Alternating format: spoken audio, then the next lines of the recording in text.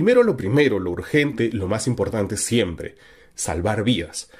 Señora, señor mayor de 85 años que me está escuchando, vaya a vacunarse ahora mismo con confianza. Usted puede creer o no creer en Willax, después hablamos de eso, pero la vacuna que está destinada a usted no tiene nada que ver con esta, entre comillas, polémica. La vacuna que empieza a aplicarse hoy a adultos mayores desde los 85 años en el Perú es la de Pfizer, una vacuna que es una tecnología muy avanzada, un milagro de la ciencia y que no tiene nada que ver con todo este pánico del fin de semana. Así que señora, señor mayor de 85 años, usted puede creerle todo a Willax, no importa, eso es lo de menos a estas alturas, solo quiero que sepa que la que está destinada a usted es la vacuna de Pfizer. Es otra cosa, es otro asunto.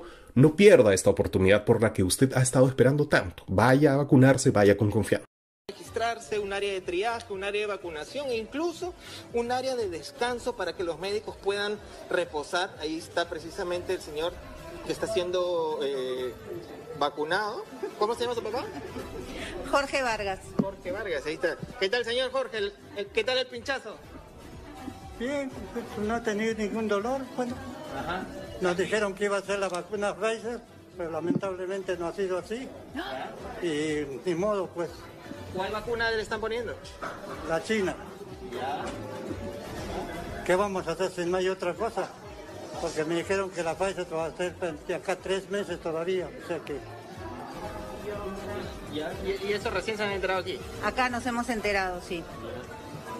Ah, eso, no lo sabíamos, Maritere. Eh, ¿Qué vacuna se les está aplicando? La vacuna de Sinopharm, que es la que ha proporcionado el Ministerio de Salud eh, Salud es, la entidad que ha almacenado y que está distribuyendo con el personal de salud que ahora está inoculando la vacuna.